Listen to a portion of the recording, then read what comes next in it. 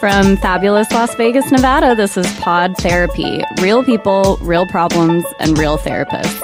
If you have a question to ask for good advice to give, come on over to podtherapy.net and join our conversation. Today on the show, we have a special guest therapist, as you've probably heard, who will help us answer some questions, and we will announce the new president of the Pennsylvania chapter for the Pod Therapy Fan Club. And now, broadcasting from Level 9 Studios, that guy is Dr. Jim Jobin. I'm Nick Tangeman. It's Therapy Thursday, and it's time for some pod therapy. I love that she still said, I'm Nick Tangeman. Yes. I like this version of Nick Well better. done. Do you think they believed it that I'm Nick Tangeman? I do. I yeah, I think most people probably. If I do. closed my Yeah. eyes, I could not tell the difference. no. no. That's scary. yes. So, Nick, uh, who is our special guest? Okay, so our special guest is uh, Whitney Lewis, LCSW, uh, Yes. licensed clinical social worker, here Professional in- identity thief, as we just heard. Yep, identity. I'm Yeah, that's a a real woman thing. of many talents. Yeah. She has stolen stolen your identity, Nick. Open up a credit. Go buy a house. Yeah, so uh, she is our guest therapist today, so she's going to stick around, answer some questions, and uh, help us out with the show. so this will be uh, this will be exciting. So uh, I guess to get started, we should kind of introduce Whitney to our listeners. Yeah. Um, so you are originally from the great state of Texas. Yes. What? The Yep. stars and stripes are bright at night, deep in the heart of Texas. Oh. Damn it, I missed it. Yeah, that's because you're from Iowa and you don't understand us. Which part of Texas are you from? Dallas area. I grew up in Grand Prairie, Texas. Oh, very cool, man. Mm-hmm. I'm from Waxahachie. Really? Yeah, man. That's awesome. That's really cool. That's really cool. Waxahachie is about the population of this studio. Yeah. So three people and uh, basically Scott walking around with a camera. that's, that's essentially it. But didn't- Waxahachie also has catfish. That that's pretty much it. I didn't know you're from Texas. I am. Well, kind of. I'm from lots of places. but I lived two years in Waxahachie, Texas. Trust me, it counts. Trust It me, does. it counts. It is It in does. Tornado Alley. It I have is. survived some stuff. That's awesome, though. So, how long were you in Texas? Um, I have been in Texas until I went to school. I went to my undergrad and to get my undergrad degree in um, Ouachita Baptist University in Arkansas. Cool. Arkadelphia, Arkansas. Ah, that's a that's a thing. Arkadelphia. Arkadelphia. That yeah. feels Shout like you're making that up. I wish I were. God, I wish I was better at geography because I really want to call BS. Somebody is listening in Arkansas, like I am not going to stand for this. Arkadelphia is a real thing. Yep. And Uh, student athlete, right? I was. I played uh, college soccer. So Wow, wow, that's really exciting. Yep. I I didn't. I um I was a mathlete, except hey, not that counts. except not good at math. So So Whitney, what? Um, so you you finished school. What Yeah. got you interested in being a therapist? Um, well, I actually have a piece of paper from when I was 12 years old that I filled out in school. And it asked, What do you want to be when you grow up? And I put psychiatrist, nice. um, not Nice. really knowing the difference at the time. I still don't know the difference. You know, yeah, who knows? um, not really knowing the difference between uh, psychiatrist, psychologist, social worker. So, Okay. therapist. Mm-hmm. So at that young of an age, what made you like that idea? Uh, my younger brother saw a. He was ADHD, still is, I guess, still ADHD. Sure. um, and he saw a lot of professionals, and so just experiencing that really, Yeah. I don't know, sparked an interest. Obviously, Very cool. Very cool. Is there awesome. a, a, a population in your professional work that you've tended to focus on? Uh, yes, I have. Uh, since my clinical internship here in Las Vegas, I've been mainly focused on working with juveniles who sexually offend. Um, so they've been adjudicated or found guilty for some sort of sexual offense, and they are ordered by the judge to complete treatment in order to stay off a sex offender registry as an adult. And uh, we work through that with them and what led them to their um, sexual acting out. So, not to dig too deep into their profile, but I think the listener probably doesn't always understand. And I know that a lot of folks, when they hear sex offender, um, a whole lot of stereotypes jump into their mind. But it's important, I think, to humanize that population. Explain these are kids. These are kids who are struggling. Is there a, a pattern that you notice in their personal history, maybe some trauma background or anything that just shows up an awful lot? Absolutely. So, um, a lot of adolescents who sexually offend have been sexually abused themselves. Um, you can see that through uh, when they open up to you, if you can get them to open Sure. up to you. Sure. Trust is probably hard to earn. Yes, adolescents have a hard time opening up to adults and trusting adults. Um, so yeah, they um, have usually have a history of themselves of themselves being sexually abused, and at times they may act out what was done to them. Yes. And So- that's a big, huge misunderstanding. People don't understand that a lot of times people who become offenders have been offended themselves. They've often been the victim of a crime. Absolutely, Hmm. yeah. One of the things too that is kind of interesting with that is that th- that's a population that I hear a lot of times people will say, "I'll never work with sex offenders." Right. I remember when I was in college and we were talking about that because one thing that's interesting about when you go to school for therapy or counseling or something like that, Mm-hmm. um, everybody is all in school together. But then once you graduate and you find jobs, everybody kind of spreads out, and you. Could be doing geriatric work, Right. You could be doing adol- working with adolescents, you can- Substance like abuse. me, substance abuse, Right. and you kind of scatter. There's so Yeah. many different areas. Yeah. But I remember in graduate school, some folks talking about like populations that they absolutely won't work with. Yeah. And that was a big one, which for me is kind of frustrating because Right. If you're getting into the field and you're saying right off the bat, I will not work with these people, Yeah. you're really shutting yourself out. Like Yeah. you could Yeah. you could have something great to offer Right. that population, but right, off the bat, you're now saying you're not going to do it. Yeah, Hmm. yeah, that would be problematic for sure. Yeah. Were there any? Um, are there any kind of uh, stereotypes or things that you hear, like when you tell people that you work with juvenile sex offenders and you Yeah. do therapy with that? What kind of reaction do you usually get?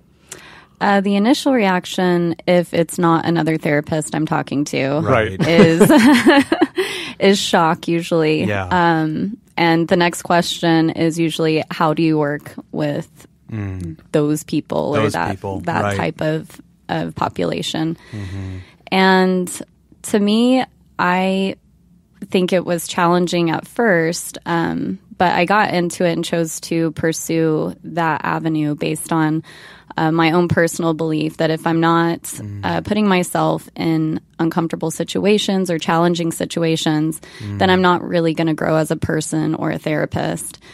And so for me, it was if I can work with adolescent males who have acted out sexually and talk to them about their sexual fantasies, um, their sexual behaviors, how they view uh, people they are attracted to.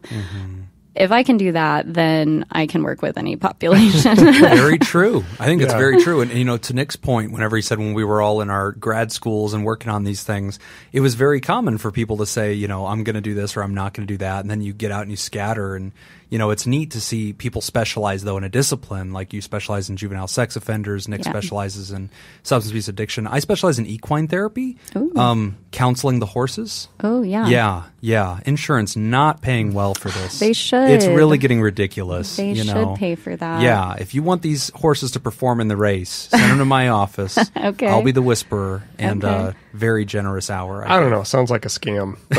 But oh no, it's it's a scam. no, no, no. Please don't misunderstand. Entirely a scam. Yeah. Come on down to therapy.vegas. Book Jim today.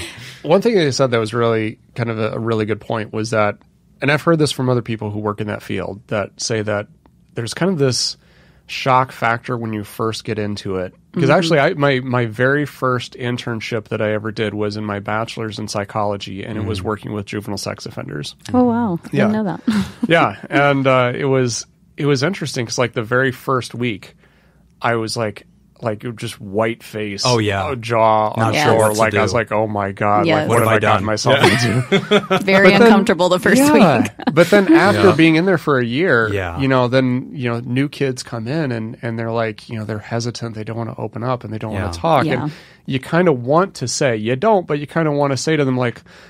Look, there's nothing at this point that you're Right. going to tell me that, That I I haven't haven't heard. heard. have said that so many times. I've heard it all. Right. You know, no reason to be ashamed. I've I've heard Yeah. it all. Yeah. and and once you get through that, I, I agree. I think you should push yourself as a therapist. You should work. y- Yeah. You shouldn't.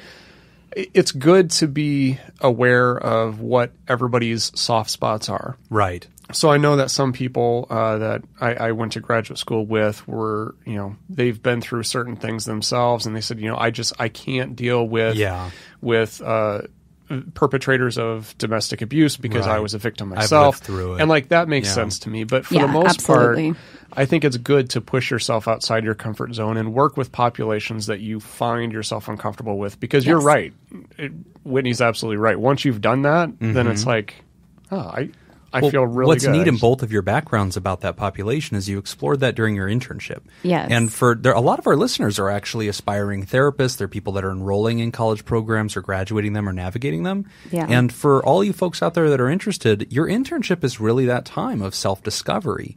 And you're really supposed to get out there and, and, and, you know, encounter new populations, encounter different kinds of supervisors and be challenged. Otherwise, you never know what you don't know, you know, but mm-hmm. when you meet these kids, you hear sex offender, you go, oh my goodness, I don't know if I can mm-hmm. do this.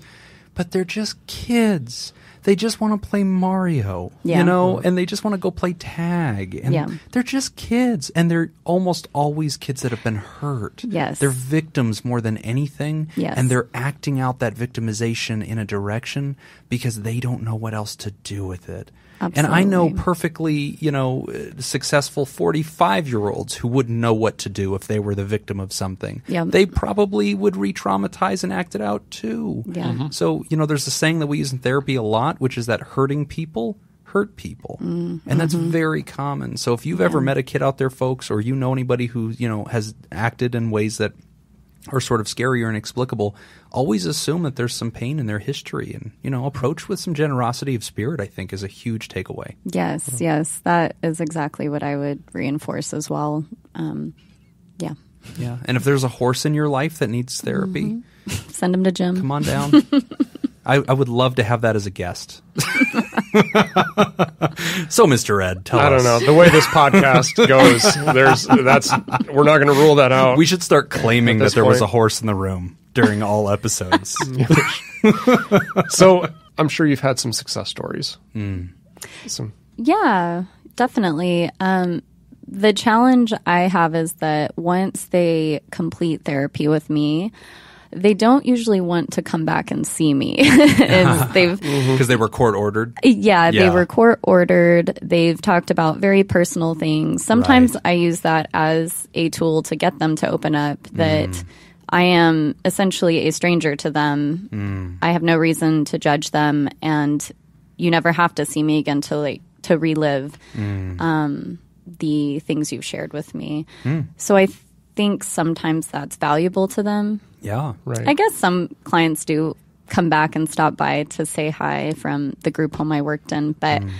um, generally they would rather leave it in the past. They're trying to move forward. So, So, what is what is the success rate when you think about kids that go into care? They they go through this therapeutic experience. They're committed to the work. Mm-hmm. They're adequately supported. Mm-hmm. Is the prognosis good, or are they almost always going to still find trouble? I think the prognosis is good. There is a lower rate of recidivism or of it happening again. Mm-hmm. If the client or if the perpetrator has been through treatment and completed the process of thinking through why they did what they did and how they can gain tools to help them manage their behaviors and their thoughts in the future. Yeah, and that's one thing actually that I found really interesting because I've looked at some of the data and some of the mm. statistics, and as an addictions professional, I wish we had those results. Right. Yeah. Which is really interesting because Yeah. I think a lot of people, when they think of sex offenders, they think, oh, they're always going to be like that. Yes. Right. There is no recovery for them. They may as well just write them off. They're no Right. good. Yes. But as an addictions professional, I'm like, no, like that's like, I wish I could produce results. Like, Right. Yes. sex Right. offender therapy can produce results. Gosh, and you know, if I can get on my soapbox for a second, since we're on this topic, one of the things that publicly has kind of bothered me, and, and I'm like this with everything. If you're, you know, using stereotypes to talk about people that live with addiction, um, I'm going to have a problem with that. You know, and, Yeah. and if we're talking about it in a non-generous way, and we're using medical language, um, like addict or you know, like you know, somebody that's addicted to heroin or something like that, and we're not uh, treating them in a medical capacity and we're just criminalizing them. I have a real problem with that. And I've uh, honestly had a big beef with this concept of sex offense.